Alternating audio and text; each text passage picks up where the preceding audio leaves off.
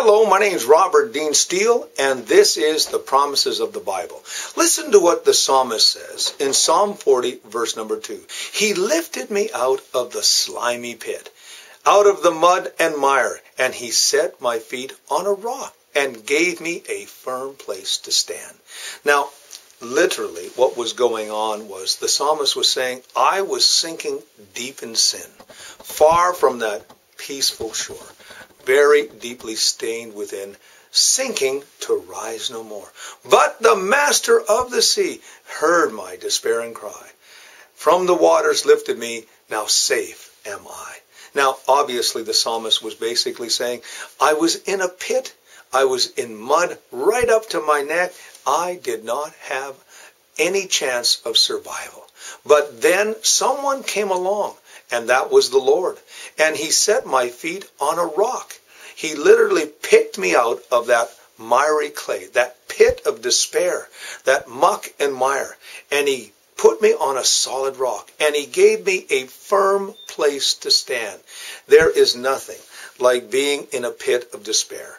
If you've ever been in a mud pit, you've ever been in a place where you haven't got any bottom, and it looks like you're not going to ever get out of it it's wonderful to have someone come out along and help you. And that's what the Lord did. And the psalmist paints this beautiful picture of how the Lord is going to rescue you today, how he's going to help you today, how he's going to minister his love and give you a firm foundation. Jesus equates the uh, the parable of the rock and the sand. He says, when you build a house upon the sand, when the uh, winds and the waves come against it, it crashes. But when you put your house on a solid rock, it will stand against the storms of life. So today, let the Lord rescue you out of that miry clay, that pit of mud, and let him set you on a solid rock. When the winds and the waves of life come against you, your house will stand firm.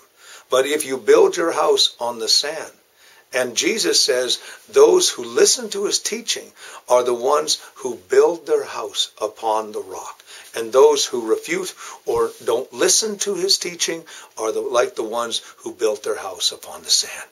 It's a terrible thing to see a life fall apart.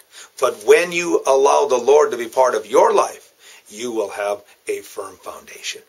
Here's a couple of other scriptures you can look at. Matthew chapter 24, 35, Psalm 119, verse number 89, and Ezekiel 12, 35. Let the Lord be your security today. My name is Robert Dean Steel. This is Promises of the Bible, and you have yourself a great and godly day.